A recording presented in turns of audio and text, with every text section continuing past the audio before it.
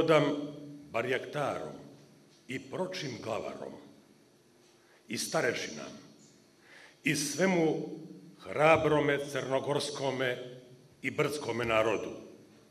O gospode, zdravstvovati i radovati se. Izvjesno je vašim blagorodijam i tebe, ljubeznejši narode, kako je već nastupio sedmi god od kako su Francuzi pokorili Bokeljsku provinciju i kako su oni s početka nam strašno prijetili da će otačastvo naše unaprijed neće se zvati crna, nego crvena, to hoće reći krvlju našom oblivena gora. No, nije su to mogli učiniti. Prvo, po tomu što nije su među nama našli izdajnikah, jakobinskog duha koji bi im putove otvorili i čelovođe dali. Drugo, što smo mi stanoviti odgovor učinili u Mirac, kad smo generalu Marmontu na sastanak bili, da umremo pri našoj slobodi i vjeri s oružjem u rukah, slavno i da se nikad pod njihovu vlast živi ne predamo. Treće, na Vlaštitu, kad su njihova tri generala, su tri tisuće i više vojske udarili na komun Brajiće, što su oni poznali koliko bi ih koštalo dokle bi Crnu Goru osvojili. Nisu se ustiđali ni predstavljati nam tolike milosti i nagraštenija od njihovog cara. Ako mi njegovo pokroviteljstvo zaprosimo i ako njegova konzula među nama prihvatimo, misleći da mi, kako prost narod, nećemo razumjeti. Jer to hoće reći da mi sebe svojim rukama senčir navrat stavljamo i da zmiju naša njedra puštamo. No, i na ova predstavljenija polučili smo, kako slovesno, tako i pismeno, protivni odgovor. Jasno vidjeti možete što su oni tirani mislili od nas učiniti i što bi učinili kad bi sile imali.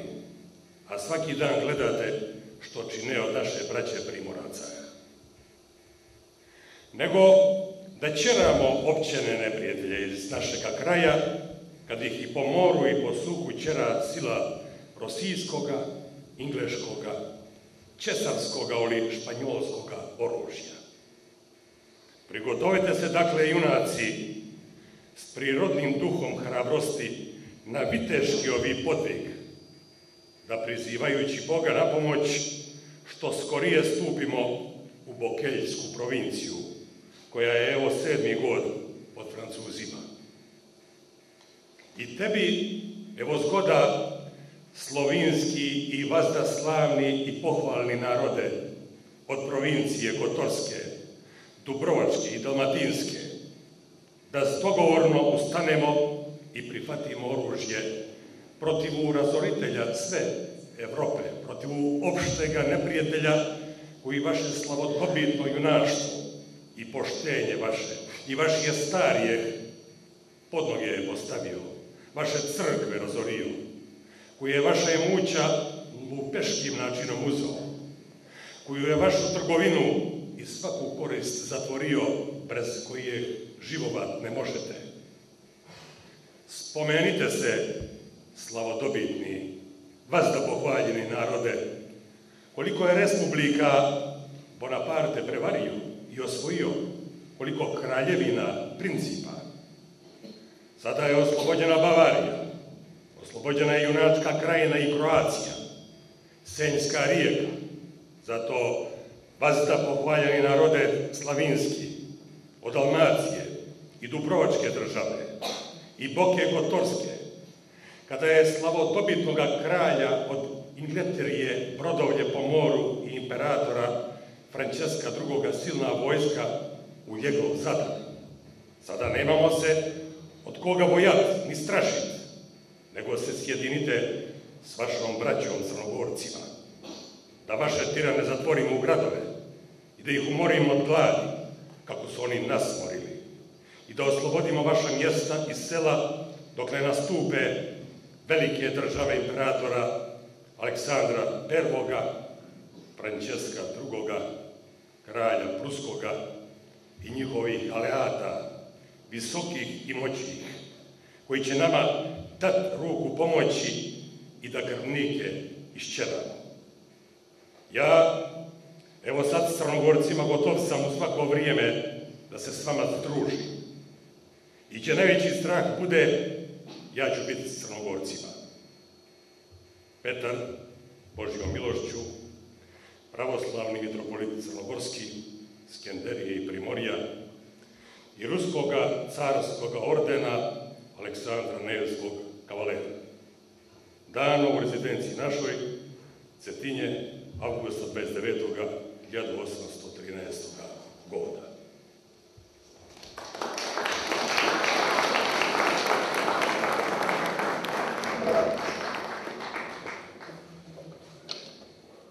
našeg velikog umjetnika Slobodana Marunovića, uvodcu u večerašnju našu akademiju, posvećenju Ujedinjenju Crne Gore i Boke Kotorske 1813-1814.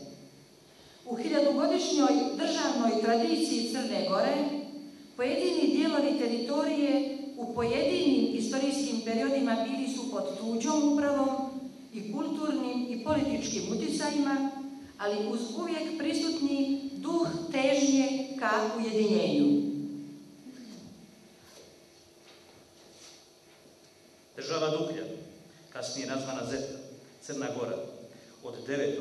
do 12. stoljeća pod dinastijom Vojslavljevića, sredinom 11.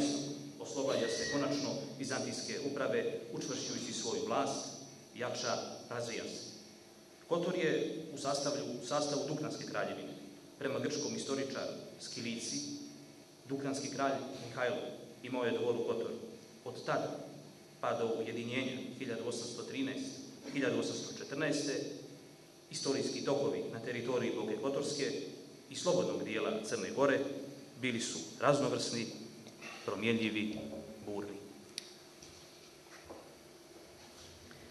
Istorijski događaj ujedinjenja Crne Gore i Boke Kotorske 1813-1814 ostvaruje se poslije mnogih stoljeća i ostavlja duboke pozitivne tragove na buduće odnose ova dva kraja i narod koji je u njima živio i živi.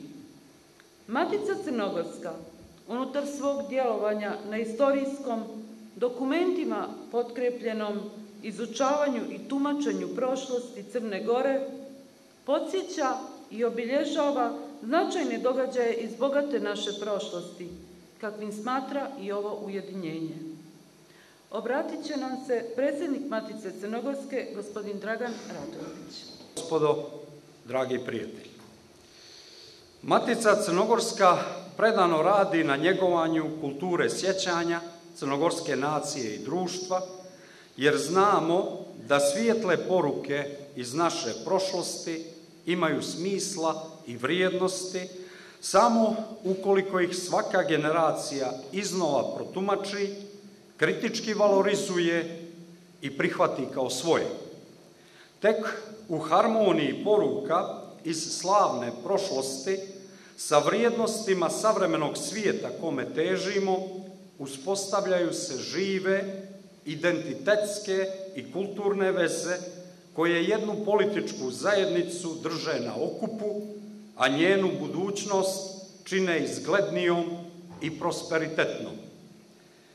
Imajući na umu upravo kulturu sjećanja, Matica Crnogorska večerašnju svečanu akademiju posvećuje obilježavanju još jednog značajnog jubileja iz naše prošlosti. 200 godina od ujedinjenja Crne Gore i Boke i stvaranja centralne komisije kao vlade te nove države u kojoj su jednakim brojem bili zastupljeni Bokelji i Crnogorci, a kojom je predsjedavao crnogorski mitropolit Petar I.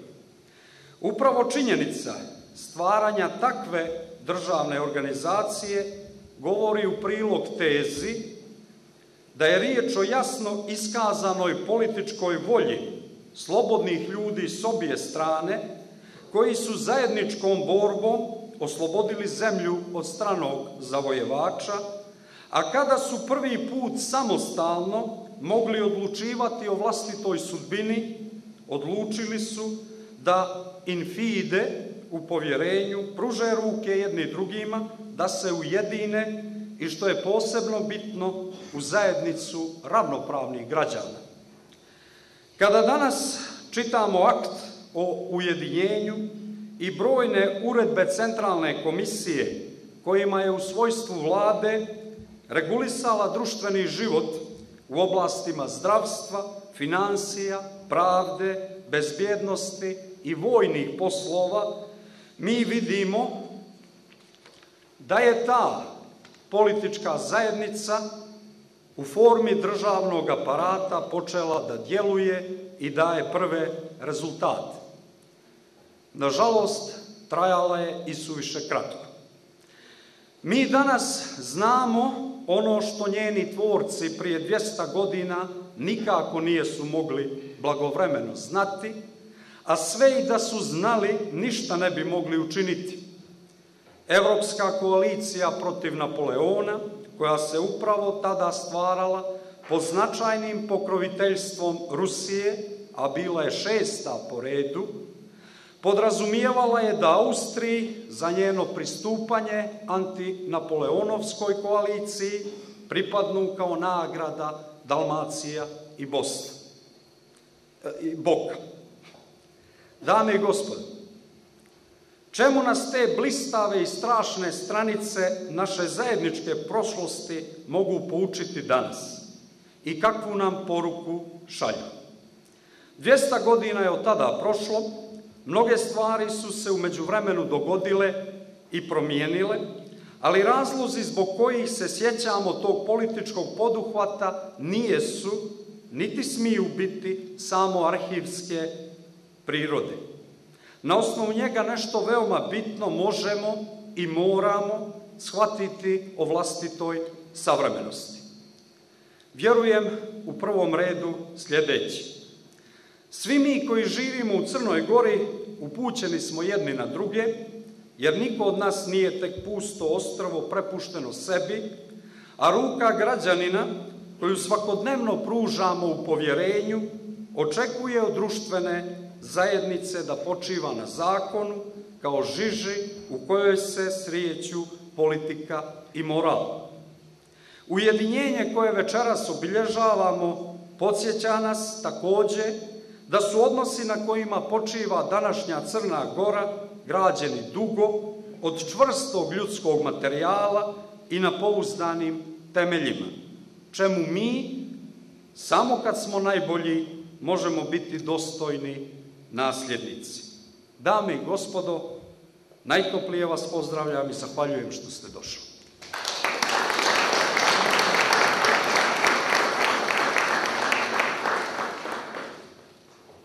Nastavljamo sa muzičkom tačkom. I dubl, dva stava izvodi na gitari naš mladi umjetnik Luka Nikolić. Luka Nikolić.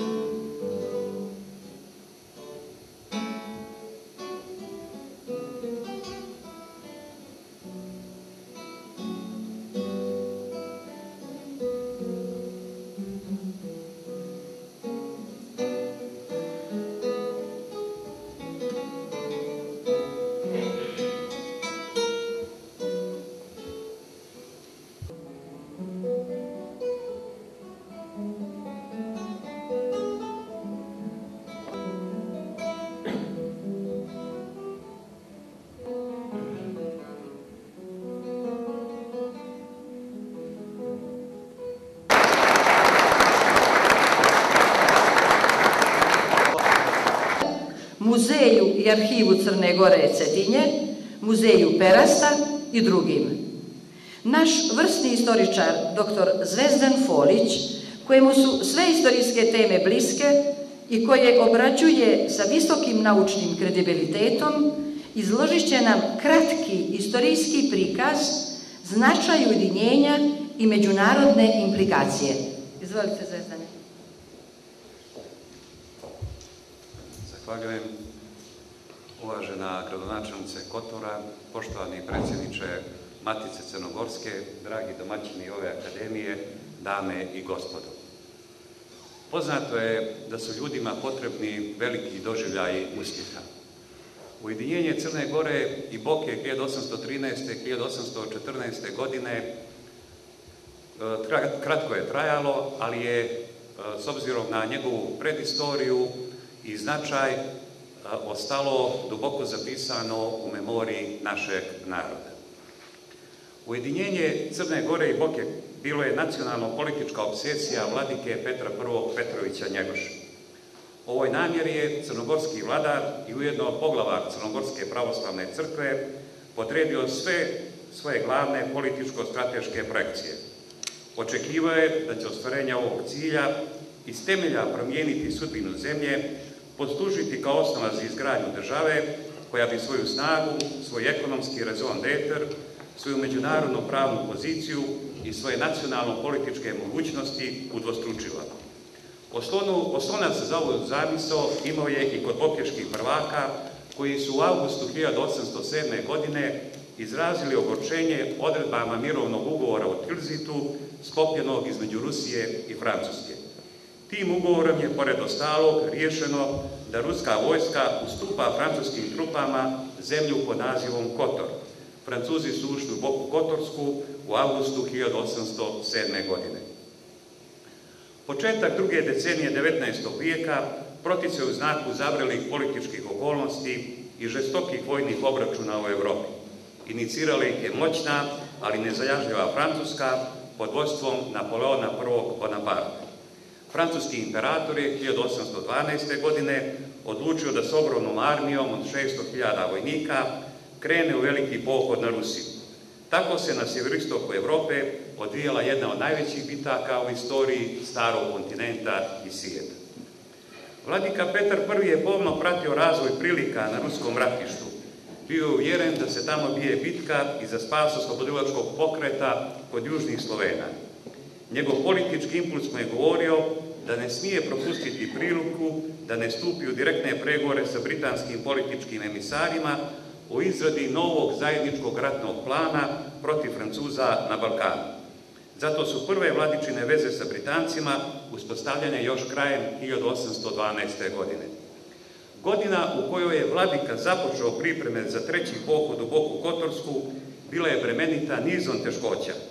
Od svih nepovoljnih okolnosti najteža je svakako bila ona koju su izražavali unutrašnji neredi, međubrastvenički i međuplemenski sukobi.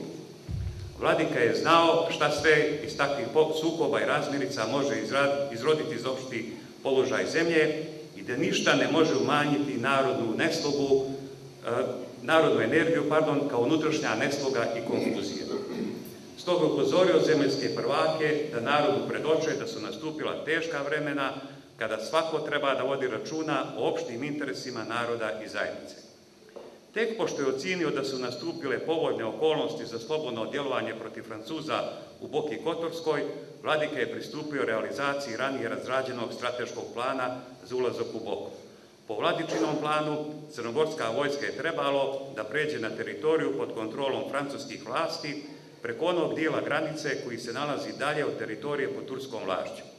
Prije nego što je svojim planom upoznao britanskog admirala i komandni sastav svoje vojske, Petar I je sastavio spisak ličnosti iz Boke Kotorske i Crne Gore, kojim je namjeravao da povjeri specijalne zadatke prilikom zaposjedanja teritorije Boke. Francuske vlasti su bile blagovremeno obavještene o vojnim pripremama crnogoraca. One su dobro procjenjivale težinu situacije u kojoj su zapale i vjerovali su da je teško pružiti otpor neuporedivo jačim snagama i to sa trupama od svega 1644 oficira i vojnika. U njima je bilo i vojnika hrvatske nacionalnosti koji nisu bili spremni da uđu u sukob sa Crnogorcima. O tome je najbolje prosuđivao komadant Kotora, general Gautier. Uviđujući nadirujući opasnost, general Gautier je u augustu 1813. godine izdao naredbu o proglašenju opsadnog stanja u Boku Kotorskoj provinciji. Kao i, 800, kao i 1806. godine, žitelji Boke pozvali su Petra I da siđe sa svojim crnogorcima i da zauzme Boku prije svečanosti gospe koja pada u mjesecu augustu. Krajem augusta vladika izdao naredbu da se vojska okuplja po Crnoj gori i Brdima. Kako je već od francuskog admirala Frimentla dobio potrebnu municiju i jedan dio oružja, vladika je donio odluku da 8. septembra 1813. godine krene u pohod za oslobođenje Boke Kotorske. Crnogorske trupe koje su brojale oko 7000 vojnika e, prešle su granicu 22. septembra 1813. a sljedećeg dana zauzele Budu. Drugi dio crnogorske vojske pod komandu Vuka Radonjića i Sava Petrovića izvrši udar na Trojicu i prinudio francuski garnizon da eksplozivom razori čitavi fortifikacijski sistem. Vrijedi istaći da su crnogorskoj vojsci počeli da se pridružuju žitelji Boke Kotorske, tako da su snage koje su Petru I stajale na raspolaganju poslije nekoliko dana bile znatno uvećane. Ubrzo su zauzete Verige, Porto i Rosso, dok je jedan ojačani odred pod komandom Sava Petrovića oslobodio Risa. Uspjesi crnogorske vojske posticali su i one žitelje Kotorskog zaliva, Prčanjane i Dobroćane, da se masovno uključuju u sastav vladičinih odreda. Ubrzo je narod Boke Kotorske počeo masovno da se pridružuje vladičinim trupama. Nakon oslobođenja Herceg Novog u oktobru 1813. čitava Boka Kotorska sa svim gradovima i naseljima, osim Kotora, našto se pod vlašću vladike Petra I i njegove vojske. Vladika nije žurio sa naredbom za napad na Kotor. Njemu je prvenstveno bilo stalo da pripremi, sondira teren za donošenje odluka o ujedinjenju Crne Gore i Boke.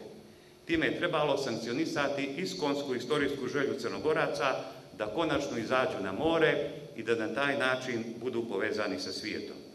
Skupština predstavnika Crne Gore i Boke Kotorske održana je 10. novembra 1813. po novom kalendaru u kući Vasa Lukina Ivanovića. Na njoj je donijet odluka o ujedinjenju Podovćinske Crne Gore i Boke Kotorske oblasti.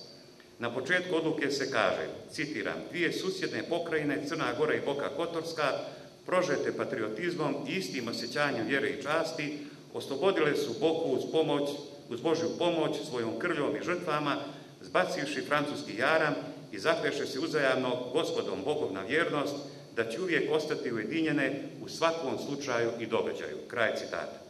Ulaskom crnogorskih snaga u Kotor, sredinom januara 1814. godine, cjelokupna e, teritorija Boke Kotorske bila je ujedinjena sa Crnom Gorom. Baš kao u 11. vijeku, što smo imali prilike da čujemo u uvodnom dijelu ove akademije, u vrijeme Dukljanske kraljevine, kada je i Dukljanski kraj Mihajlo Savljević imao u Kotoru svoj dvor.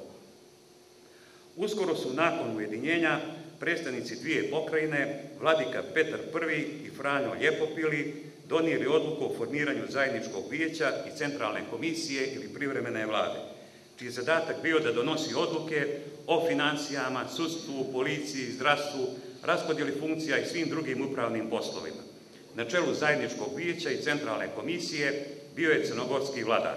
Da bi što jače vezao stanovništvo Boke Kotorske za svoju politiku, Petar I je, pored ostalog, ima odlične odnosi sa kotorskim biskupom Markom Antunom Gregorinom. Jedan od izraza tih relacija bilo je prisustvo Petra I tripudanskoj svečanosti u Kotorskoj katedrali 1814. godine.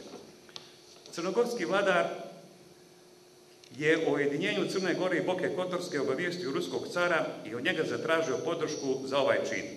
Petar I tada nije znao da je antinapoleonska koalicija ponudila Austriji Ilirske provincije, pa i Boku Kotorsku za pristupanje tom savezu. Ugovorima u Reichenbachu i Teplicu 1813. Austrija je pristala na ovu ponudu, što je potvrđeno mirovnim ugovorom u Parizu iz maja 1814. godine. Ruski car je zato sredinom 1814. savjetovao crnogorskom vladaru da ne pruža otpor austrijskoj okupaciji Boke Kotorske. U prvo vrijeme mitropolit nije prihvatao ovaj savjet. Tek kada je austrijski general Milutinović, koji je juna 1814. krenuo da zauzme ilirske provincije, nanio velike gubitke crnogorskim trupama u boku, pristoje da Primorje ustupi Austriji. Ugovor o predaju Primorja Austriji potpisao junu 1814. godine guvernadur Vuko Radović. Ruska neosjetljivost i pragmatizam ne može da zasijeni zajednička pregnuća i bokelja koja su svakako dostojna poštovanja. I to na oslobađanju Boke Kotorske od francuskog okupatora i uspostavljanju zajedničke vlasti na ovoj teritoriji. Skupštinu u Dobroti, održana prije dva vijeka, predstavlja još jedan upečatljiv istorijski avans o slobodnom i ravnopravnom egzistiranju Crnogoraca i Bokelja, istina u jednom vrlo kratkom periodu. Da, do tog cilja, taj će se cilj u stvari otvoriti 1945. godine, kada će se Boka Kotorska napokon vratiti u državno tkivo Crne Gore. Hvala na pažnju.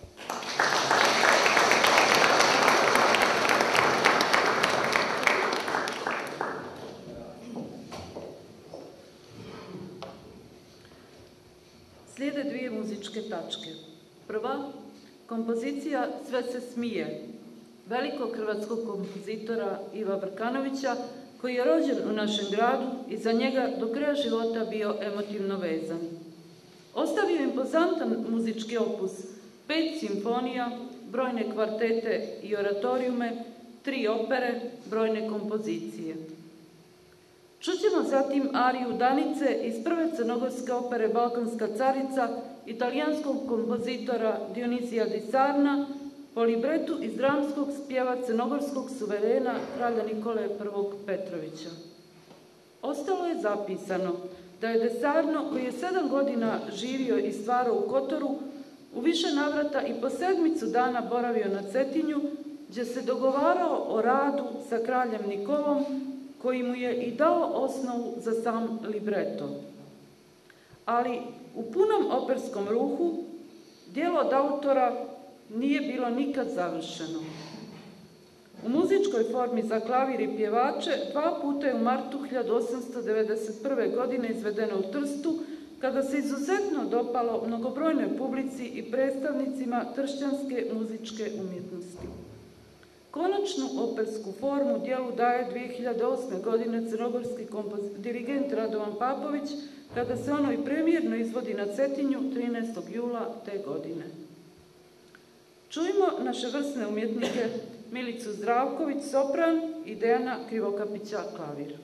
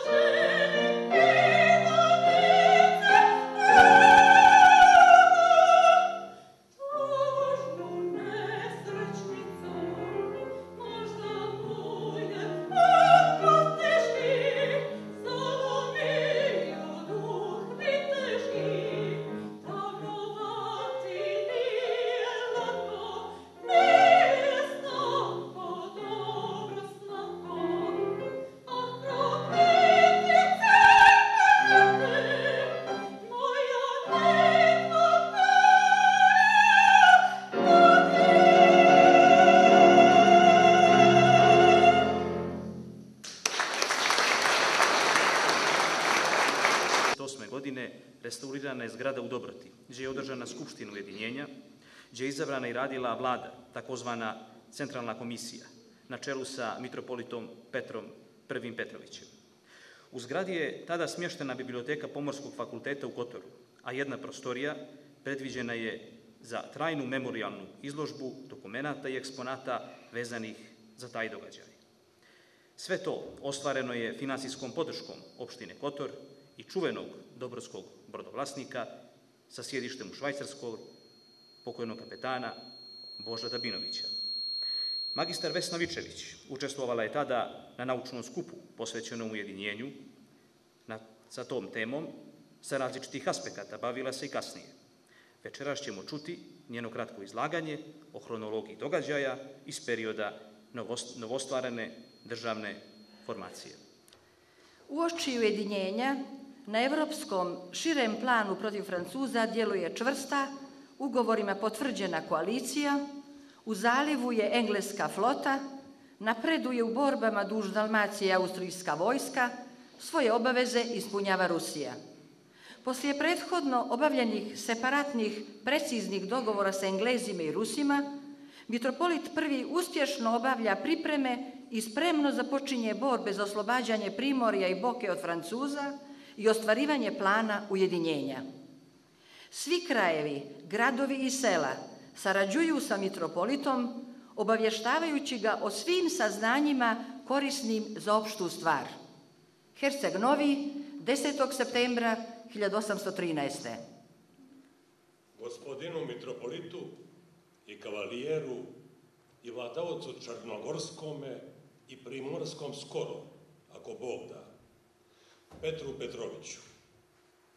Ljubimo vašu svetu desnicu, vaše pravosvještenstvo. Mislimo da ćete biti čuli što se približava u ove strane, kako je Česar pokrio rijeku i triješći.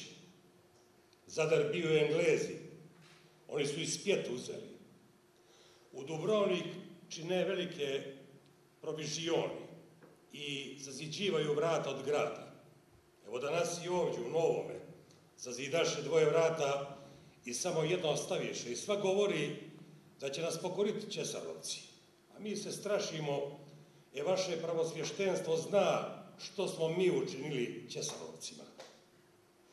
Mi nemamo nikakve uzdanice, već ako u Boga i u vaše pravosvještenstvo, koje te prosimo svakolici za Boga, ako imate ikakvu nadeždu na nas, da nas avizate i obradujete.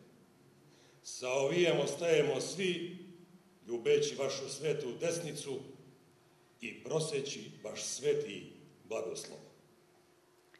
Dio Primorja je oslobođen.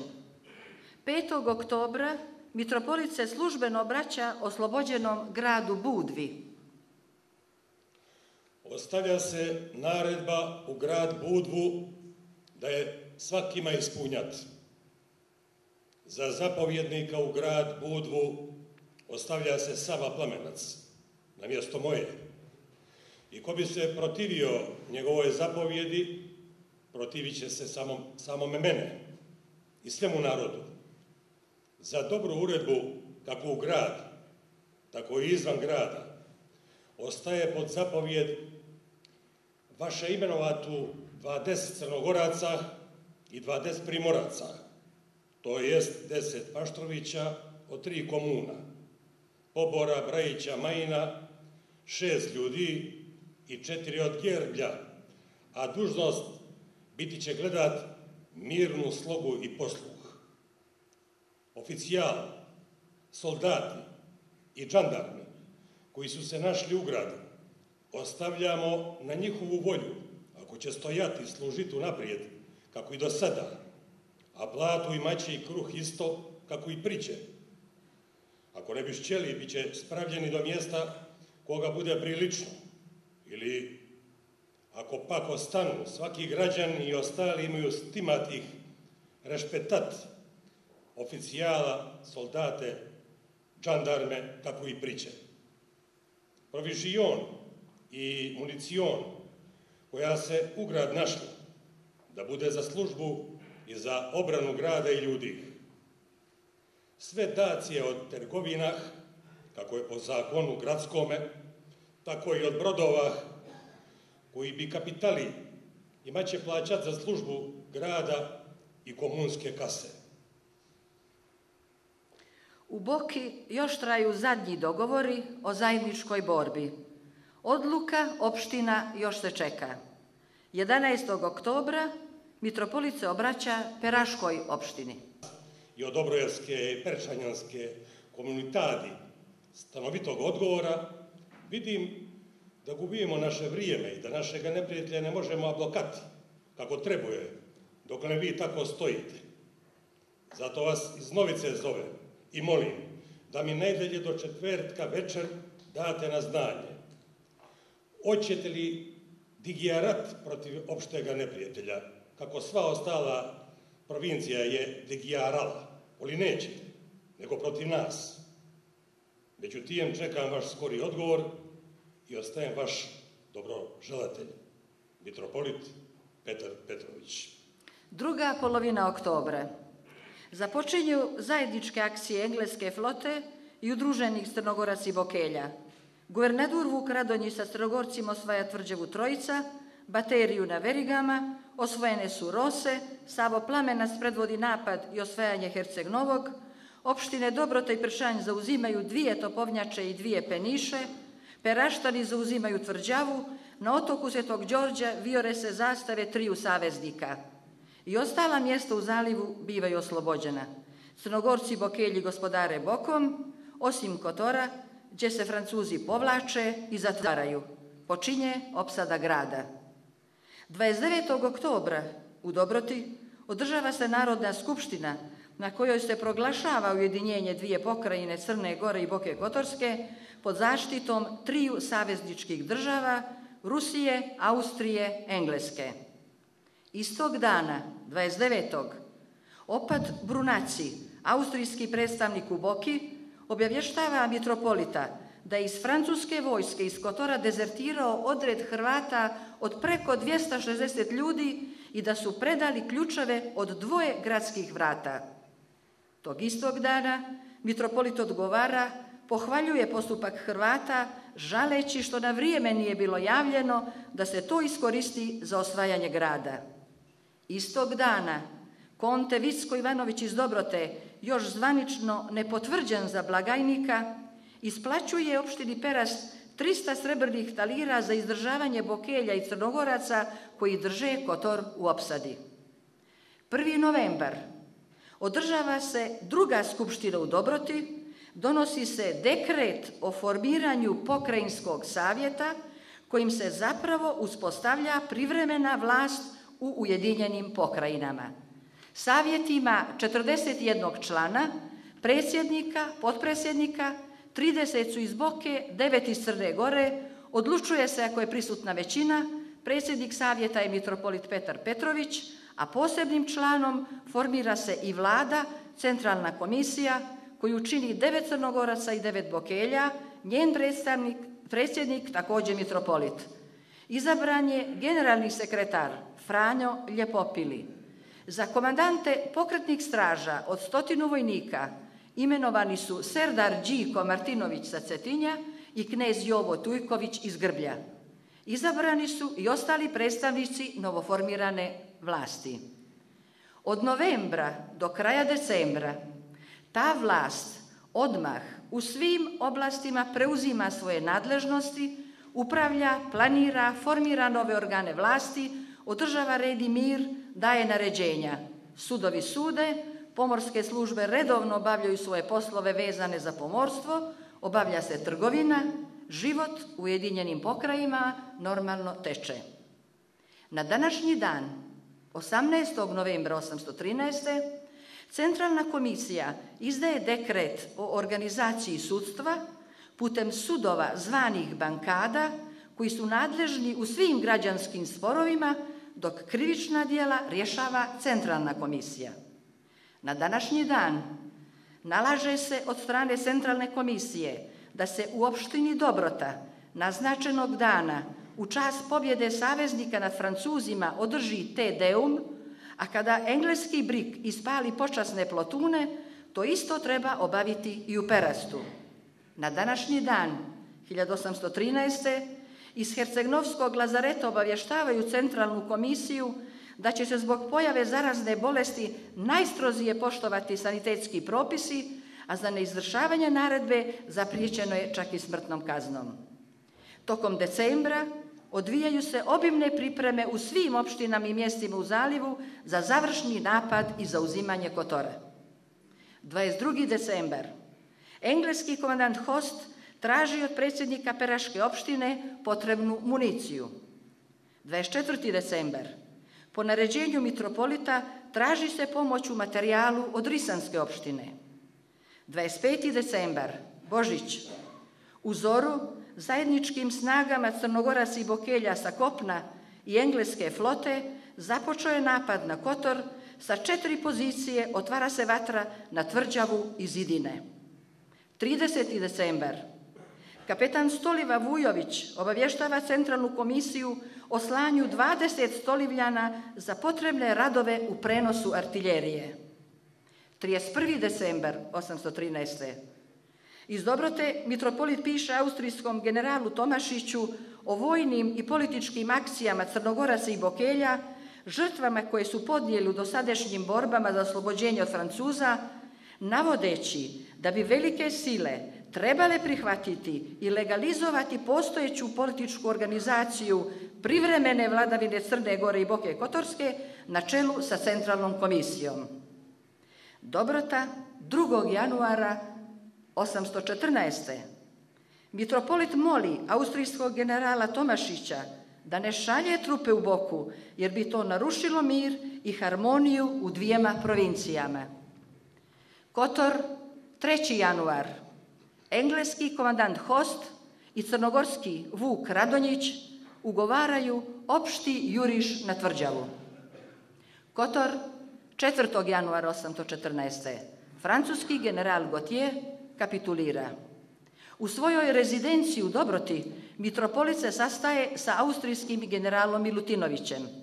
Nakon tog susreta kapetan Host zvanično objavljuje kapitulaciju Francuza. Gotije ga potpisuje 4. januara u svom glavnom kotorskom štabu, a Host na fregati Bekenti u Sidrenoj pred Kotorom 6. januara. Akt kapitulacije imao je 16 članova. Istog dana, 6. januara, Host obavještava centralnu komisiju da joj predaje zvanično ključeve grada Kotora i svih javnih magazina koje preuzimaju članovi centralne komisije, guvernadur Crne Gore Vuk Radonjić i Vičenco Lovrenčević. Kotor je oslobođen. Francuzi su se povukli, predstavnici Ujedinjenih pokrajina uspostavljaju gradu svoju vlast, red i primjenu donesenih propisa. Centralna komisija i mitropolit prešli su iz Dobrote u Kotor. Stanje u Kotoru za vrijeme Francuza bilo je teško. U jednom istorijskom radu Don Gracije Brajkovića navodi se Francuske vlasti zatvorile su samostan dominikanski, a njihovu crkvu Svetoga Pavla pretvorili u skladište. Francuski general Gautier u opsjednutom Kotoru uzeo je iz riznice katedrale Svetog Tripuna i iz crkve Svetog Jakova ukrasno srebro i dao skovati opsadni novac. Izgrađeno je i izrađeno 3800 komada od 10, 5 i 1 franka. Ovaj pečat se i sad čuva u riznici katedrale Svetog Tripuna. Najsvečaniji dan Kotorske biskupije je Tripunj dan, 3. februara te 1814. godine toj svečanosti je prisustvovao i mitropolit Petar. Zabilježeno je da su se na vratima katedrale zagrlili mitropolit i biskup. Ovaj gest bio je znak njihove ljudske i kršćanske suradnje. 19. januar. Centralna komisija šalje cirkular opštinama da pošalju svoje deputate za Skupštinu Pokrajinskog savjeta koja će se održati 24. januara u Kotoru u dvoranama sudske zgrade radi rješavanja izuzetno važnih pitanja. Zapisnik s ove skupštine nije sačuvan, ali u narednim danima januara formirana su nova državna tijela i njeni predstavnici. 5. februara određuje se da centralna komisija treba da se sastaje najmanje dva puta mjesečno. Glasovi sa raznih strana i raznih sadržaja šire se. Formiraju se razne struje što može ugroziti stabilnost Ujedinjenih pokrajina. 26. marta održava se skupština koju potpisuje 18 delegata Crne Gore i Boke, donosi se dekret od devet tačaka kojim se obezbjeđuje mir i sigurnost do odluka velikih sila o budućem statusu Ujedinjenih pokrajina. Tokom aprila i maja diplomatska aktivnost prema Austriji i Engleskoj se nastavlja. Iz te prepiske već se nazire jasno da novonastala državna formacija neće biti od velikih sila priznata, niti da će Rusija uzeti pod pokroviteljstvo, iako je u fazi oslobađanja od Francuza bila podržavana od Engleza. Mitropolit se još nada podršci Rusije. 8. juna obraća se generalu, generalu Milutinoviću da još nema odgovora od ruskog cara kojemu je uputio svojeg izaslanika i da su stanovnici Kotora i mnogi vjerni bokelji još jedan put obnovili zakletvu vjernosti. 9. juna austrijski general Milutinović traži od mitropolita i pukovnika Nikića, predstavnika Rusije, da mu kao predstavniku saveznika predaju Kotor. 10. juna na prčanju sačinjen je tekst kapitulacije grada Kotora i Bokokotorske provincije, kojim se u 18 tačaka utvrđuje primopredaja vlasti od strane opunomoćenih crnogorskih predstavnika guvernadura Vuka Radonjića i zaslanika Miroslava Zanovića i opunomoćenih predstavnika Austrije. Sve dosadašnje mnogobrojne diplomatske aktivnosti, pregovori i zaslanici, svi uspješni ratni poduhvati i pobjede nad Francuzima, uz mnogobrojne ljudske žrtve, svi napori i uspjesi Crnogoraca i Bokelja u formiranju i djelovanju vlasti, sav nadljudski napor posebno mitropolita na svim tim poslovima i njegova ogromna nada i vjerovanje u Rusiju da će Ujedinjene provincije podržati, sve je anulirano u jednom danu. Oslobođena od Francuza svojom krvlju, zaslugom Crnogoraca i Bokelja, novostvorena državna formacija umjesto obećane ratifikacije, mnogo ranije donesenom odlukom velikih sila, daje se na upravu Austriji. Stoljećima postojeće i razvijane veze, sublimirane u formiranju i pravnom oblikovanju zajedničke države, ostavljaju neizbrisivi trag u ovom kraju. Sadržaj pak ugovora o ujedinjenju 813. fundament je pobjedničke zajedničke borbe 1941-45. i pobjedničkog zajedničkog djelovanja 2006. Dokument ujedinjenja sačuvan je djelimično na našem jeziku, a u integralnom obliku na italijanskom. Oba dva su bili ravnopravni službeni jezici u Ujedinjenim pokrajinama dok je trajala, sa svim imenima prisutnih njegovih potpisnika i taj original čuva se u muzeju grada Perasta. Ugovor o ujedinjenju Boke Kotorske i Crne Gore pročitat će nam naš Slobodan Marunović.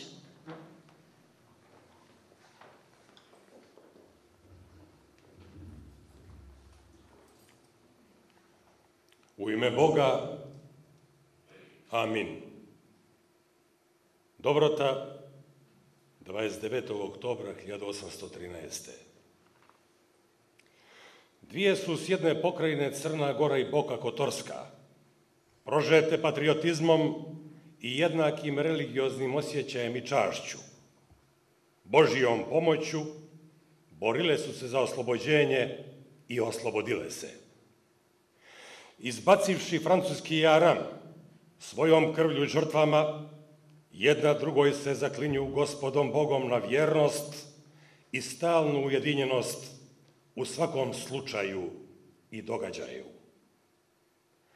Kako su se one sada stavile pod visoku i moćnu zaštitu triju savezničkih država, Rusije, Austrije i Velike Britanije, u njihovo ime izjavljuju njihovi glavari da ako bi bilo kada političke okolnosti prisilile bilo koju od dvije pokrajine da se podloži bilo kojoj od rečenih država, da će oba dvije slijediti istu sudbinu, to jest da će ostati oba dvije pod istom vlašću, sa onim uslovima i povlasticama koje su uživale i koje će im buduće biti priznavane. Ako bi država koja bi njima vladala bila zbog ratnih prilika prisiljena da ih napušti, dvije pokrajine preko svojih glavara koji u njeno ime to izjavljuju, ostaće slobodne i nezavisne kao što su bile u trenutku sklapanja ugovora o ujedinjenju. Ali potvrđuju međusobno ujedinjenje i nezavisnost i u buduće, ako bi trebalo i vlastitom krvlju. Podrazumijeva se da je isključena za uvijek francuska vlast, jer bi više voljeli da umru ujedinjeni u bilo kakvoj nesreći, nego da padnu ponovo pod galsku tiraniju. Neka bude vjerovano. Mitropolit Petar Petrović, guvernadur Vukolaj Radonjić, u ime cijele Crne Gore i Brda, Alviz Konte Visković, kapetan opštine Perast, Teodor Konte Ivelić, kapetan opštine Risan, Vasilije Đurasović, kapetan opštine Herceg Novi, Teodor Konte Ivelić za opštinu Paštrovsku, Pop Đuro Lazarović u ime opštine Grbaljske i trije sela Pobori, Majini i Brejići, Andreja Tripković, kapetan opštine Dobrota, Petar Lazari, sudija za Đuzepa Lukovića, kapetana opštine Prčanje, Mark Antonio, konte Gregorina, pukovnik za Kotor i sva mjesta kotorske teritorije, Lastvu, Tivat, Lepetane, Bogdašiće, Kavač, Mrčevac i Lješeviće. Pop Ivo Radović u ime opštine Luštičke. Pop Filip Kostić u ime opštine Krtoljske. Andrija Tripković za opštinu Stolivsku. Pop Đuro Lazarović u ime kapetana Škaljara Tripa Petrovića. Miroslav Konte Zanović za grad Budvu. Stefan Lazarović za opštinu Muljansku. Ja, Franjo Ljepopili, sastavio sam i potpisao ovaj dokument tako zamoljen od njegove ekscelencije presvjetlog mitropolita i uvaženih potpisanih glavara gore navedenih opština.